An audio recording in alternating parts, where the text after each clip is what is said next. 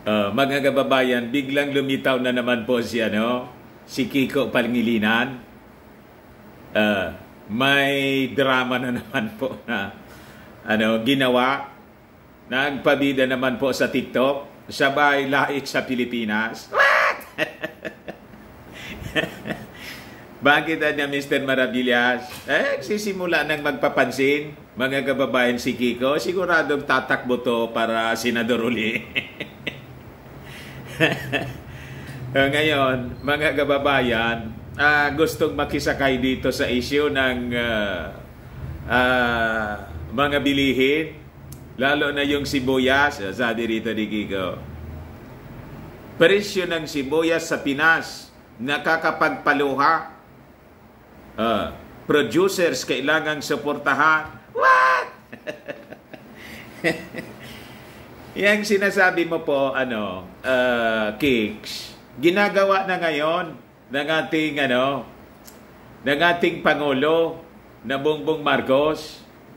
E kayo po, more than 30 years na kayo, bilang uh, senador, ano po yung significant contribution ninyo para sa food security? Lalo, nagi kayong, ano, nagi kayong uh, presidential advisor on food security during the time of panot, uh, ano yung mababa ba yung sibuyas noon? Huwag kami cakes. O ngayon, kinumpir mo pa yung presyo ng sibuyas sa Pilipinas with the price in Australia. At sinasabi mo, mas mababa sa Australia. Di doon ko na muna tumira habang inaayos ng ating Pangulo yung agrikultura dito sa Pilipinas, doon ka muna, mag-enjoy ka muna ng murang sibuyas doon. Pinabayaan ninyo yung agriculture dito sa Pilipinas. Tagal-tagal ninyo mga dilawan sa posisyon. Di ba? O ito na tayo ngayon.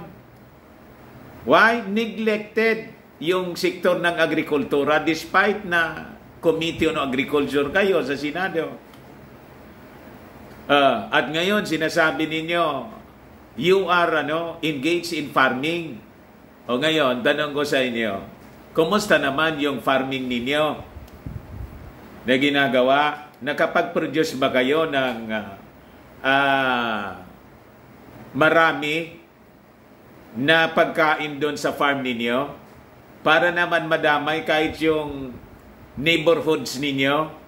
Mga kapitbahay na lang, makabili ng mura galing sa farm ninyo. Di ba wala man?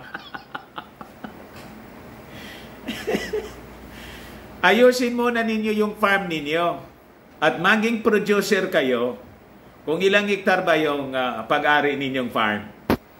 Pag nakapag-produce kayo ng uh, mga ano, agricultural products, tapos sumubra sa pangangailangan ninyo at yung sobra, bininta ninyo sa market ng mura, ayon, uh, hahanga kami sa inyo. at maniniwala kami sa sinasabi ninyo at advocacy.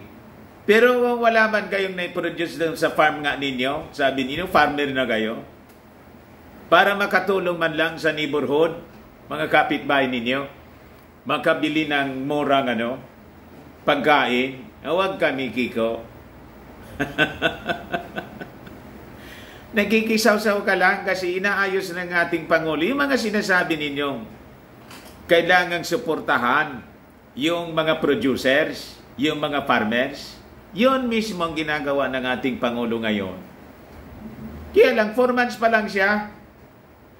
Ah, ang daming dapat gawin sa Department of Agriculture and that is the reason why ayaw niya ano, ibigay muna yung Department of Agriculture, siya mismo yung humahawak ngayon. Para matutukan niya ng maigi. At ngayon nga nasa uh, epic meeting siya, yung agrikultura pa rin yung sinusulong niya mga kababayan. At kausap niya yung mga investors na willing na maglagat ng kapital sa sektor ng ag- agrikultura. Mamaya ibibigay ko sa inyo. Dito muna tayo mga kababayan sa sinasabi ni Kik. So, ah, ito yung picture ni Kicks doon, po mga kababayan sa kanyang ano, TikTok. Nag-TikTok? What? Para lang may masabi, usap-usapan ngayon ang TikTok video ng dating senador at Vice Presidential candidate na si Attorney Kiko Pangilinan tungkol sa kanyang mga naobserbahan sa presyo ng pangunahing produkto sa Pilipinas at Australia. Kinompare po yung ano, yung presyo ng sibuyas sa Australia at dito sa Pilipinas. presyo pa lang ng sibuyas, mapapaluha ka na agad. Bilis ninyo na magkomento ng magkomento as if may nagawa kayong maganda para iangat yung sektor ng agrikultura. Ito resulta po ng kapabayaan ng mga dilawan sa sektor ng agrikultura. Ah, kaya ang daming dapat na ayusin ang solusyon sa pagpapababa uh, sa mahal na bilihin, suportahan ang ating food producers. Luma na yung sinasabi po ninyo. Iyon na mismo ang ginagawa ng ating Pangulo ngayon. Suportahan yung mga farmers, food producers. Kaya nga sabi niya, nakikipag-negotiate siya ngayon sa China at yun ang kanyang gagawin. Pa-follow up sa pakikipag-usap niya kay uh, Xi Jinping uh, government to government transaction na para makabili yung Pilipinas hindi na through private sector uh, makabili ng ang Pilipinas ng murang abono sa China at ibibigay libre hindi pa utang libre kasi hindi na kaya ng mga farmers. Naisip ninyo yon noon? Di ba lahat kayo pautang lang? At ang masama pa, mga kababayan noon, sa panahon ng mga dilawan, yung fertilizer, ano, scam, yung uh, liquid fertilizers, ayun, ilang milyon yung nasayang. Hindi man napunta sa mga farmers pinadaan sa mga congressmen through the port. Ang binigyan po, maraming mga taga Metro Manila congressmen, wala man sa inyong ano, sakahan.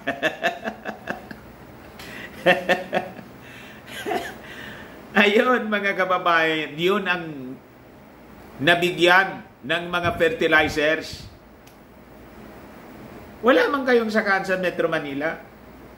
Imbes ipamigay doon sa mga, direkta sa mga farmers, pinadaan sa mga congressmen na tunaw. Nalala ninyo yon?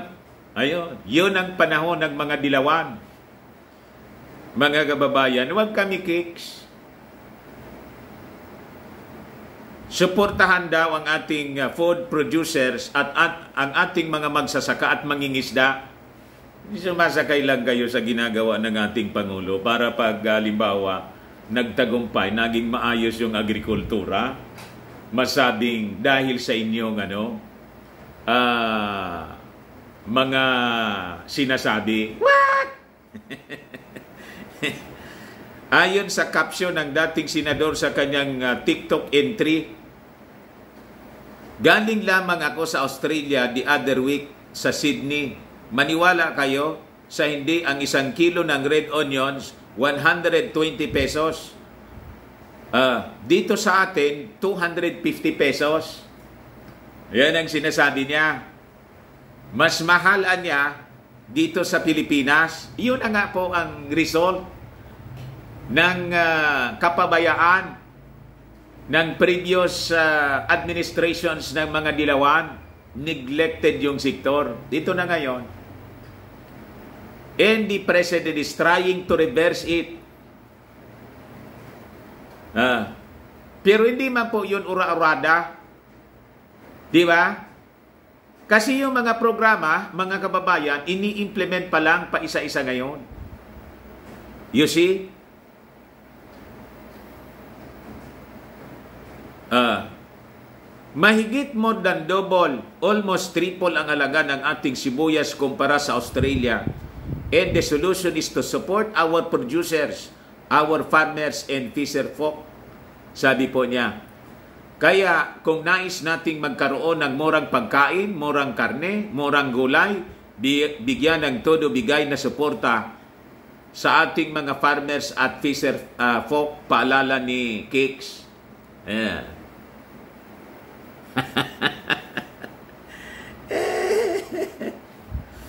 Hindi ito ang unang beses na nagkaroon ng pagkumpara si Pangilinan sa presyo ng mga bilihin sa Pilipinas at ibang bansa. Sige lang ang ngak ninyo. Tagal na ninyo sa gobyerno, wala man ngayong na, na ikontribong maayos para sa... Doon na lang ha, yun ang challenge natin. Doon na lang sa farm ninyo. Ang challenge natin, mag-produce kayo ng maraming pagkain doon. Kung gusto ninyong uh, makatulong, di ba? At least in your community, sa paligid lang ninyo. Uh, gawin ninyong ano, gawin ninyong uh, model farm. Maniwala pa ako sa inyo. Pero kung wala man, nakita kita doon, nagpa-picture-picture lang, tapos may isang bul isang uh, bulig ba yung tawag noon sa Tagalog? Nang latundan. Yun lang. Para oso lang ninyo yon kulang pa sa inyong ano household. Hindi man lang uh, ano, hindi man lang ma-share doon sa mga kapitbahay ninyo. Hindi man ko man sinabing i-share ninyo ng libre. Ibigta ninyo ng mura kasi nandyan lang sa kwan ninyo. Nandyan lang sa farm ninyo. Baka maniwala pa kami, cakes. Tama? Uh, pero itong mga sinasabi ninyo sa TikTok, alam na namin, gusto lang ninyong magpabida, gusto lang ninyong magpapansin kasi kailangan litaw palagi yung pangalan in preparation sa midterm election. Tagal pang election po. Tumulong ka na muna. Ah, mag-produce ka na lang muna para makatulong sa ating kapwa. No, ito yung ating Pangulo. Oh. Nandun na siya mga kababayan sa sa APIC meeting. Oh, ano sabi rito? Thai conglomerate CP Group has pledged to make additional investments in the Philippines in aquaculture rice in swine production.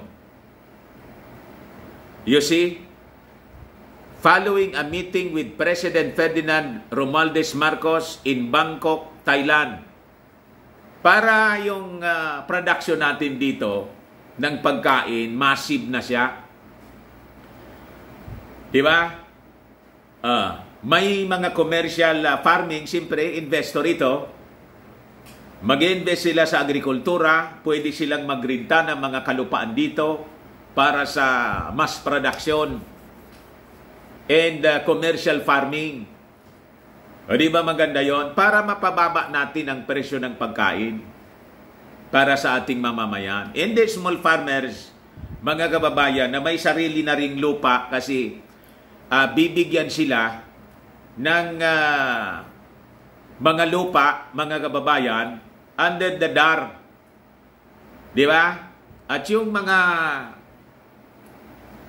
uh, loans nila dati, hindi na muna sila sisingilin at libre pang abono. O di ba maganda yon? Para gumaan man lang yung pamumuhay ng ating mga farmers.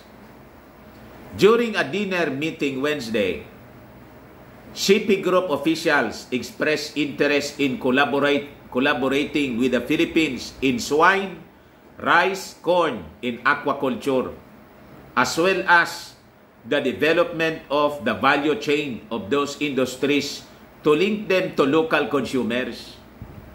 Ito yung strategy na gagawin ng ating uh, Pangulo po. May support sa mga small farmers para hindi man po sila uh, mabaliwala Matulungan sila, mga kababayan, sa kanilang food production. Yung kanilang kakainin, at kailangang ma-encourage sila na mag-produce hindi lang ng kanilang pangangailangan, kundi dapat sobra sa pangangailangan nila para yung sobra maibenta nila in the market ng mura sa tulong mismo ng ating gobyerno. Uh, then, comes now the ano, big farming activities. Uh, through these investors na pwedeng pumasok mga kababayan dito sa uh, swine, rice, corn in aquaculture sector. O di ba? Para hindi tayo nagkukulang sa supply ng pagkain dito po. Uh, CP Group is Thailand's largest private company with 2 billion uh, US dollars investment in the Philippines. The largest and the most uh, significant Thai investment in the Philippines agriculture is Chowren Pork Fund Foods Philippines Corporation is a, is a subsidiary of uh, Chowrin Pork, uh, Pork Fund Food Foods Public Company Limited. Uh, ito pong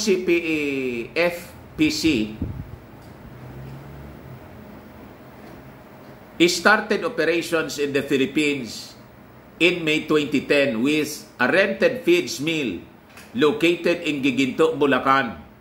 And in 2012, the company made additional investments in aquaculture and agri agro-business in the country.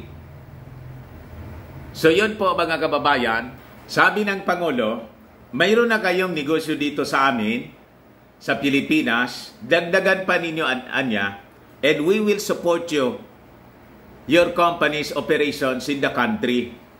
Dagdagan pa anya ninyo yung inyong investments sa aming bansa. So, the President, mga kababayan, uh, pledged to improve the aquaculture industry in the Philippines, which he said is significant to achieving food security, especially since fishing serves as the as an important livelihood for Filipinos. So sabi niya, I think the timing is correct. There are many opportunities. I suppose the most important thing is that we have ano uh, we are able to forecast a little bit which direction the economy is going in how we in the Philippines or any other country position themselves to take full advantage of the new post-pandemonium global economy, sabi po ng ating Pangulo. So sabi rito mga kababayan sa, sa balita, released by the Office of the Press Secretary, moreover in his meeting with business executives in Bangkok, the President reiterated that the centerpiece of his administ- administration's bid toward uh, economic transformation is bolstering partnerships between the public and the uh, private sector. The economic transformation of the Philippines, the centerpiece is our private and public partnership. And this is something we feel we will need to encourage for the simple reason that it cannot be done by just uh, just by government Ayun ang rason mga kababayan. Pumasok kanya kayo ng uh, mas marami pang investment.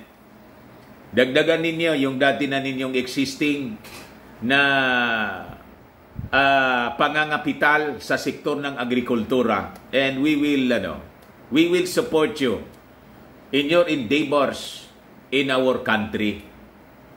Uh, kasi ito nga po yung uh, pinakang centerpiece ng uh, programa economic agenda. It is based on food ano food security. As we are an agriculture based economy yun ang uh, napabayaan ng mga previous administrations po. Uh, kaya binabalik ng ating pangulo yung mga programa na nasimulan noon. Uh, yung sa tatay niya mga kababayan na mga programa sa agrikultura binabalik niya. Pati nga yung kadiwa, binabalik niya ngayon. And uh, of course, pati yung sa sektor ng energy, eh, kasama rito sa sinabi ng ating Pangulo eh.